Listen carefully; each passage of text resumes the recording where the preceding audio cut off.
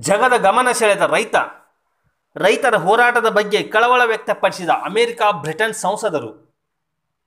ಕೇಂದ್ರವು ಜಾರಿಗೆ ತಂದಿರುವ ಕೃಷಿ ಕ್ಷೇತ್ರಕ್ಕೆ ಸಂಬಂಧಿಸಿದ ಮೂರು ಕಾಯ್ದೆಗಳ ವಿರುದ್ಧ ರೈತರು ನಡೆಸುತ್ತಿರುವ ಪ್ರತಿಭಟನೆಯು ಅಂತಾರಾಷ್ಟ್ರೀಯ ಮಟ್ಟದಲ್ಲಿ ಮತ್ತೆ ಗಮನ ಸೆಳೆದಿದೆ.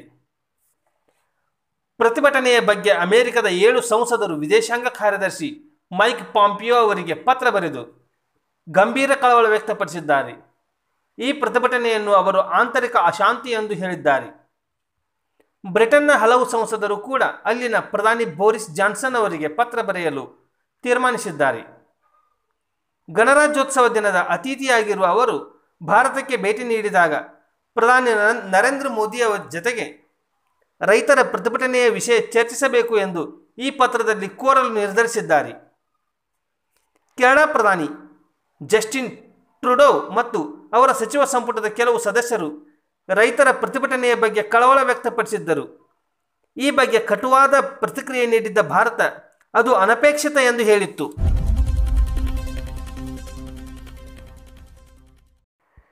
ರಾಜಕೀಯ ಪ್ರತಿಸ್ಪರ್ಧಿಗಳ ಹುನ್ನಾರ ಮೋದಿ.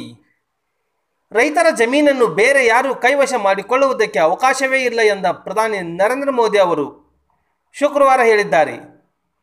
ಪಿ ಎಂ ಕಿಸಾನ್ ಯೋಜನೆ ಅಡಿಯಲ್ಲಿ ಒಂಬತ್ತು ಕೋಟಿ ರೈತರಿಗೆ ರೂಪಾಯಿ ಹದಿನೆಂಟು ಸಾವಿರ ಕೋಟಿ ಬಿಡುಗಡೆ ಮಾಡಿ ಅವರು ಮಾತನಾಡಿದರು.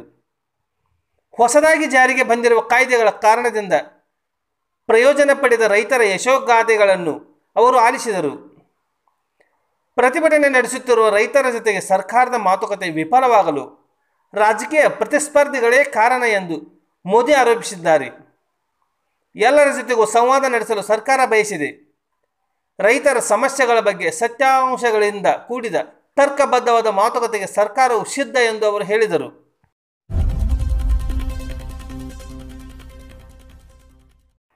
ಜವಳಿ ಪಾರ್ಕ್ ಸ್ಥಾಪನೆಗೆ ಒತ್ತಾಯ. ಬಾಗಲಕೋಟೆ ಜಿಲ್ಲೆಯ ರಬಕೈಬನಹಟ್ಟಿ ತಾಲೂಕು ರಾಜ್ಯದಲ್ಲಿ ಅತಿ ಹೆಚ್ಚು ನೇಕಾರರನ್ನು ಹೊಂದಿದ ಪ್ರದೇಶವಾಗಿದೆ. ಇಂಥ ಪ್ರದೇಶದಲ್ಲಿ ಜವಳಿ ಪಾರ್ಕ್ ನಿರ್ಮಾಣವಾದರೆ ನೇಕಾರರಿಗೆ ಅನುಕೂಲ ಆಗುತ್ತದೆ. ನೇಕಾರಿಕೆಯು ಅಭಿವೃದ್ಧಿ ಹೊಂದುತ್ತದೆ ಎಂದು ಕಾಡಸಿದ್ದೇಶ್ವರ ಪಟ್ಟಣ ಸಹಕಾರಿ ಸಂಘದ ಅಧ್ಯಕ್ಷ ಶಂಕರ್ ಜುಂಜಪ್ಪನವರು ಹೇಳಿದರು.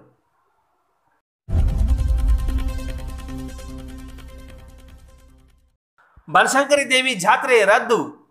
ಬಾಗಲಕೋಟೆ ಜಿಲ್ಲೆಯ ಬಾದಾಮಿಯಲ್ಲಿ ಕೋವಿಡ್ನಿಂದಾಗಿ ಜಿಲ್ಲಾಧಿಕಾರಿ ಆದೇಶದ ಮೇರೆಗೆ ಜನವರಿ ಇಪ್ಪತ್ತೆಂಟರಂದು ನಡೆಯಬೇಕಿದ್ದ ಬನಶಂಕರಿ ದೇವಿ ಜಾತ್ರೆಯನ್ನು ರದ್ದು ಮಾಡಲಾಗಿದೆ ಎಂದು ಚೊಳಚಗುಡ್ಡ ಗ್ರಾಮದ ಬನಶಂಕರಿ ದೇವಸ್ಥಾನ ಟ್ರಸ್ಟ್ ತಿಳಿಸಿದೆ.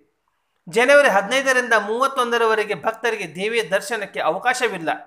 ಭಕ್ತರು ಸಹಕರಿಸಬೇಕು ಎಂದು ಟ್ರಸ್ಟ್ ತಿಳಿಸಿದೆ. ನಮ್ಮ ಚಾಲುಕ್ಯ ಟಿವಿಯಲ್ಲಿ ವಧುವರರ ಮಾಹಿತಿ ಕೇಂದ್ರ, ವಧುವಿನ ಹಾಗೂ ವರನ ಮಾಹಿತಿಗಾಗಿ ತಮ್ಮ ತಮ್ಮ ಪೂರ್ಣ ವಿಳಾಸದೊಂದಿಗೆ ಭಾವಚಿತ್ರದ ಬಯೋಡೇಟಾ ಕೊಡಬೇಕಾಗಿ ಕೋರಿಕೆ.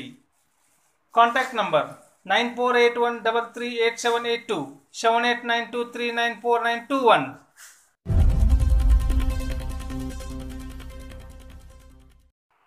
ವೈಜ್ಞಾನಿಕ ಬೆಲೆ ನಿಗದಿಗೆ ಆಗ್ರಹ. ಎಳ್ಕಲ್ನಲ್ಲಿ ರೈತರ ಶ್ರಮದಿಂದ ಭೂತಾಯಿ ಫಸಲು ನೀಡುತ್ತಾಳೆ. ಅನ್ನವನ್ನು ಬೆಳೆದ ಜೀವಕೋಟೆಯನ್ನು ಪೋಷಿಸುವ ರೈತನ ಋಣ ತೀರಿಸುವ ಕಾರ್ಯವನ್ನು ಸಮಾಜವು ಮಾಡಬೇಕು. ರೈತನ ಬೆಳೆಗೆ ವೈಜ್ಞಾನಿಕ ಬೆಲೆ ನಿಗದಿಪಡಿಸಿ ಕೃಷಿಯತ್ತ ಯುವಕರನ್ನು ಸೆಳೆಯಬೇಕು ಎಂದು ಅಳವಂಡಿಯ ಮಳಸಿದ್ದ ಸ್ವಾಮೀಜಿ ಹೇಳಿದರು. ರೈತರ ಸದೃಢವೇ ಪ್ರಧಾನಿ ಮೋದಿ ಧ್ಯೇಯ, ಗದ್ದಿಗೌಡರು. ಬಾಗಲಕೋಟೆಯಲ್ಲಿ ಪ್ರಧಾನಿ ನರೇಂದ್ರ ಮೋದಿ ದೇಶದ ಅನ್ನದಾತರ ಬಗ್ಗೆ ಸದಾ ಚಿಂತನೆ ಮಾಡುವ ಮೂಲಕ ಅವರನ್ನು ಆರ್ಥಿಕವಾಗಿ ಸದೃಢರನ್ನಾಗಿ ಮಾಡಬೇಕು ಎಂಬ ಉದ್ದೇಶ ಇಟ್ಟುಕೊಂಡಿದ್ದಾರೆ ಎಂದು ಸಂಸದ ಪಿ ಸಿ ಗದ್ದಿಗೌಡರು ಹೇಳಿದರು. ನಗರದಲ್ಲಿ ಶುಕ್ರವಾರ ಮಾಜಿ ಪ್ರಧಾನಿ ಅಟಲ್ ಬಿಹಾರ್ ವಾಜಪೇಯಿ ಅವರ ಜನ್ಮ ದಿನಾಚರಣೆ ಅಂಗವಾಗಿ ಬಿಜೆಪಿಯಿಂದ ಆಯೋಜಿಸಿದ್ದ ಸುಶಾಸನ ದಿನ ಕಾರ್ಯಕ್ರಮದಲ್ಲಿ ಅವರು ಮಾತನಾಡಿದರು.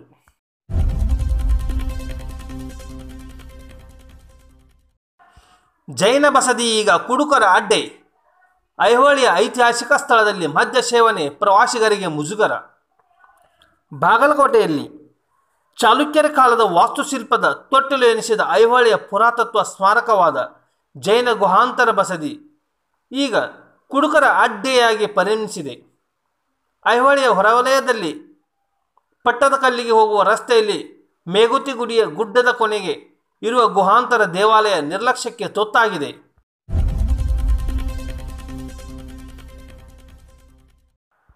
ಚಳಿಯಲ್ಲೂ ಕಳೆಗಟ್ಟಿದ ಕ್ರಿಸ್ಮಸ್.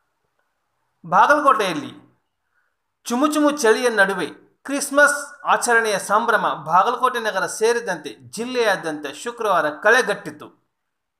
ಜಗತ್ತಿಗೆ ತ್ಯಾಗ, ಪ್ರೀತಿಯ ಸಂದೇಶ ಸಾರಿದ ಸಂತ ಯೇಸು ಕ್ರಿಸ್ತರ ಜನ್ಮದಿನವನ್ನು ಕ್ರೈಸ್ತರು ಸಂಭ್ರಮದಿಂದ ಆಚರಿಸಿದರು.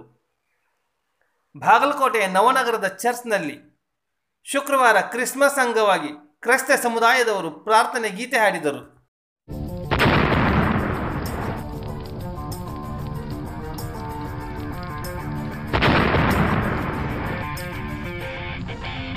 ನಮ್ಮ ಚಾಲುಕ್ಯ ಟಿವಿಯಲ್ಲಿ ಭ್ರಷ್ಟರ ಪೇಟೆ. ಅನ್ಯಾಯಕ್ಕೆ ನಮ್ಮ ಸವಾಲು ಚಾಲುಕ್ಯ ಪೇಟೆ. ಪ್ರತಿ ರವಿವಾರ ತಪ್ಪದೇ.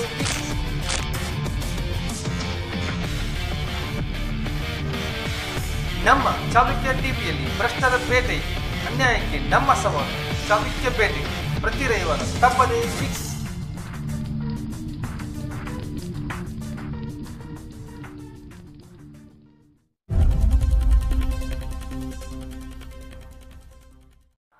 ಮೀಸಲಾತಿಗಾಗಿ ರಾಜಕೀಯ ತ್ಯಾಗಕ್ಕೂ ಸಿದ್ಧ. ಪಂಚಮಶಾಲಿ ಶ್ರೀ ಜನ್ಮದಿನ ಸಮಾರಂಭದಲ್ಲಿ ವಿಜಯಾನಂದ. ಹುನಗುಂದದಲ್ಲಿ ಪಂಚಮಶಾಲಿ ಸಮಾಜದ ಟು ಎ ಮೀಸಲಾತಿ ಹೋರಾಟದಿಂದ ಹಿಂದೆ ಸರಿಯುವುದಿಲ್ಲ. ಇದಕ್ಕಾಗಿ ರಾಜಕೀಯ ತ್ಯಾಗಕ್ಕೂ ಸಿದ್ಧ ಎಂದು ಮಾಜಿ ಶಾಸಕ ವಿಜಯಾನಂದ ಕಾಶಪ್ಪನವರು ಹೇಳಿದರು. ಹುನಗುಂದ ತಾಲೂಕಿನ ಕೂಡಲ ಸಂಗಮದ ಪಂಚಮಶಾಲಿ ಪೀಠದ ಶ್ರೀಗಳ ಜನ್ಮದಿನದ ಕಾರ್ಯಕ್ರಮದಲ್ಲಿ ಯುವಕರು ರಕ್ತದಾನ ಮಾಡಿದರು.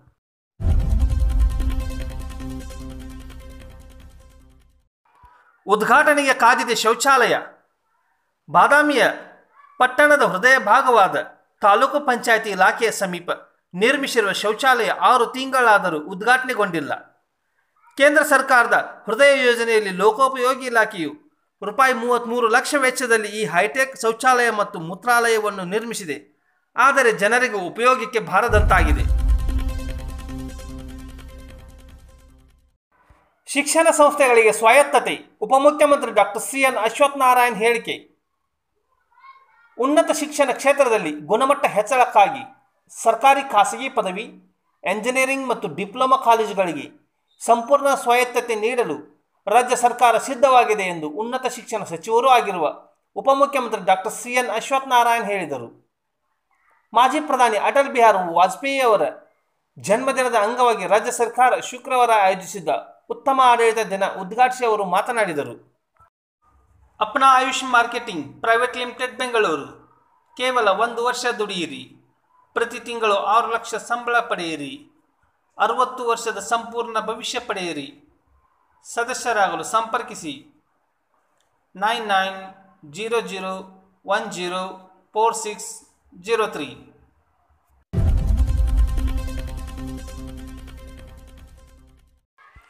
Suresh Angadi ಪುತ್ರಿ ರಾಜಕೀಯ ಕಾರ್ಯಕ್ರಮದಲ್ಲಿ ಭಾಗಿ.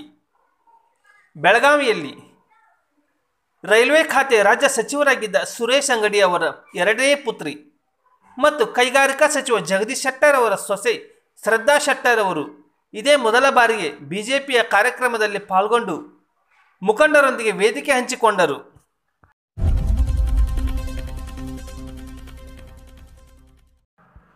ವಿವಿ ವ್ಯಾಪ್ತಿಗೆ ಶಾಸ್ತ್ರೀಯ ಕನ್ನಡ ಕೇಂದ್ರ ಮೈಸೂರಿನಲ್ಲಿ ಭಾರತೀಯ ಭಾಷಾ ಸಂಸ್ಥಾನವನ್ನು, ಅಂದರೆ ಸಿ ಐ ಐ ಎಲ್, ಭಾರತೀಯ ಭಾಷಾ ವಿಶ್ವವಿದ್ಯಾಲಯವನ್ನಾಗಿ, ಅಂದರೆ ಬಿ ಬಿ ವಿ ಪರಿವರ್ತಿಸಲು ನಿರ್ಧರಿಸಿರುವ ಕೇಂದ್ರ ಶಿಕ್ಷಣ ಸಚಿವಾಲಯವು ಶಾಸ್ತ್ರೀಯ ಕನ್ನಡ ಅತ್ಯುನ್ನತ ಅಧ್ಯಯನ ಕೇಂದ್ರವನ್ನು ಈ ವಿಶ್ವವಿದ್ಯಾಲಯ ವ್ಯಾಪ್ತಿಗೆ ಸೇರಿಸಲು ಮುಂದಾಗಿದೆಯೇ ಎಂಬ ಅನುಮಾನವನ್ನು ಶೈಕ್ಷಣಿಕ ವಲಯ ವ್ಯಕ್ತಪಡಿಸಿದೆ.